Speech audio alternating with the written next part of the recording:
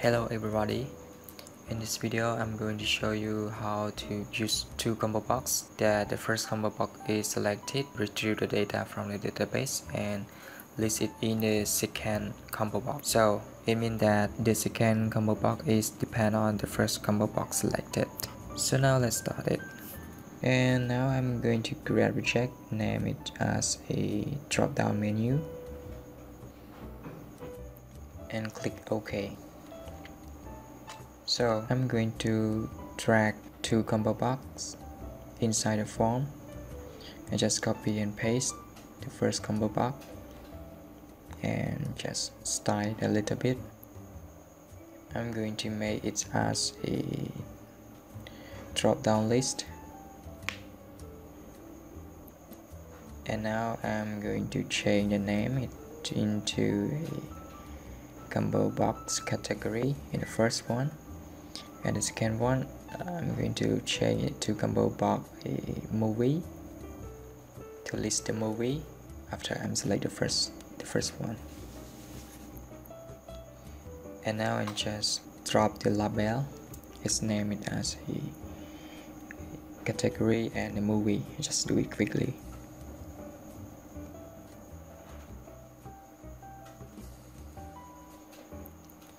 So I'm going to write code in the event load. When the load form, I'm going to retrieve some data. So the first thing, I'm going to create a class for store the connection. So I'm name it just a my connection, add it, and just create a method is public get connection.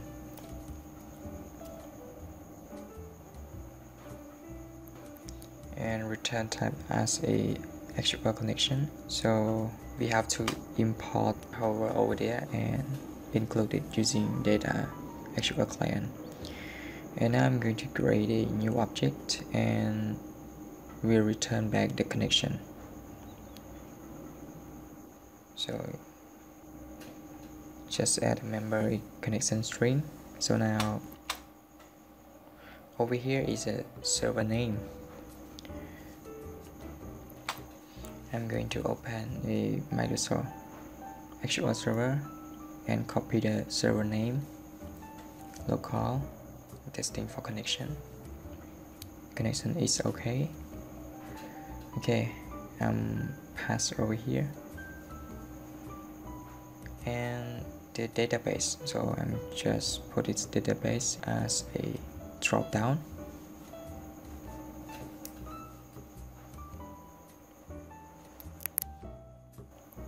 I'm going to return the connection back. I'm go back to the form. I'm right down in the form load event. So I'm create object to store the connection.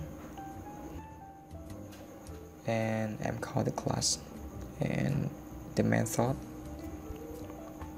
Get connection. Okay we have to import it so now I'm I have one variable that I store the connection so I'm open the connection first. And now I'm create a database because I'm not yet created just copy it and create new database. Pass over here and OK. So now I'm going to create two tables the first table is uh, for the category store the category id and category name. And the second one i'm going to store the movies that depend on the category that have a different key of category table. I just use it as a sample. No need to set a primary key or something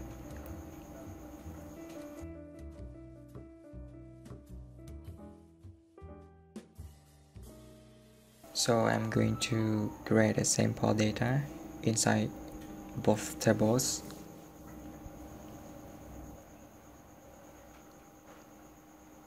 I'm going to go quickly.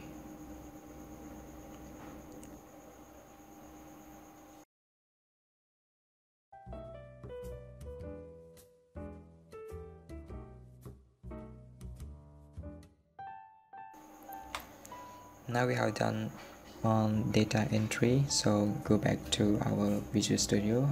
I'm going to create an SQL command for command selecting the data from the database.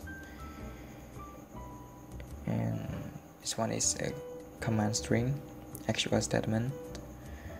And don't forget put the condition. I just select all the category inside the table for categories. And create data reader.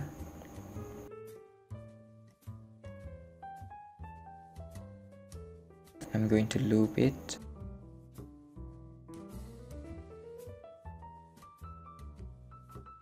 So over here I'm going to add the item the string item inside the combo box the first combo box because the first combo box is the category for the category name. And don't forget close the connection. So so now just uh, for testing.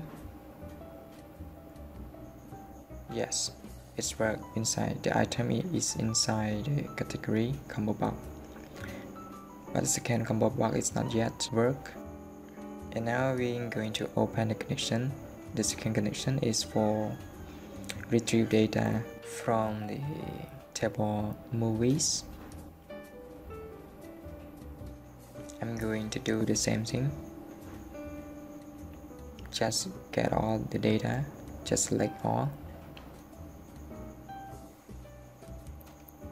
After that I'm going to create a two classes the first class is for the category and to store the same as a column field inside the table in the database. For the movie it has the ID, movie names and the category ID just put the get set method and you can put a serializable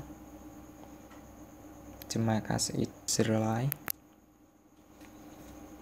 and I'm going to create a two list. The first list is for the movie and the second list is for the category to store it so I'm going to add all the movies into the list. I just put a object inside the movies. Just call a member and I have a ID just put it ID by the data reader the column field I just casting it casting to integer and inside the bracket it just put the for index the column field name. Just checking the column field name make sure it's correct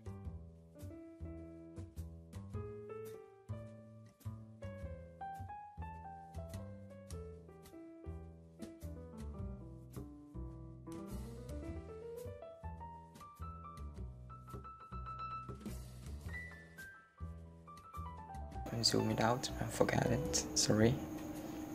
The column field name movie name and the category ID so because uh, I'm using integer so I need to casting it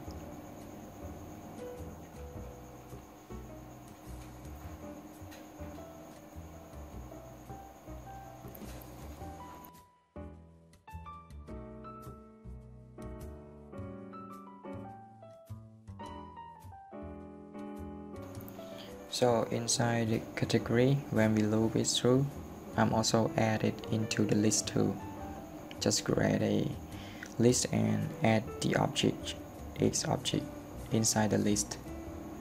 Because I'm going to find it by the ID, ID category, so we will uh, find the movie by the ID.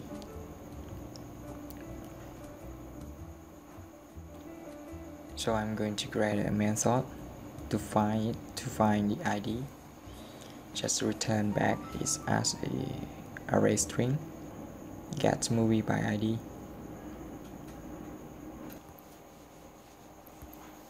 and I'm going to return back and I'm use a LINQ queue with a lambda expression. Just get a, a category to check it equal to the ID that I'm passing by the parameter. And I'm going to select the name the movie name back return as an array okay. So I'm going to write in the event uh, select index chain in the first combo box when we change the index in combo box category so we will retrieve another items and fill it back into the second combo box and just clear the item that exists inside the, uh, second combo box. And the second combo box is a the combo box movie. And just loop it in from a method get movie by id so I'm going to find out it, it by the index. Because when we select index inside the first combo box it is represent as an index inside the list the list that I have inserted. So call the list. The list it have a item so put the index get the ID so now we have an item so we put it back into into the movie.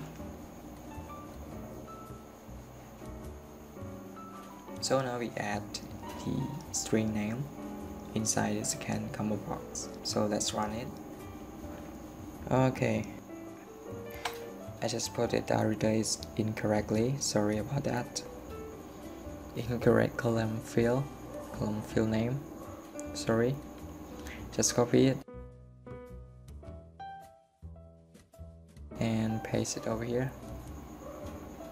And paste it. Make sure it's correct. So we will not have any error again. So rerun the application. Okay list it all and, and select the first item. It have the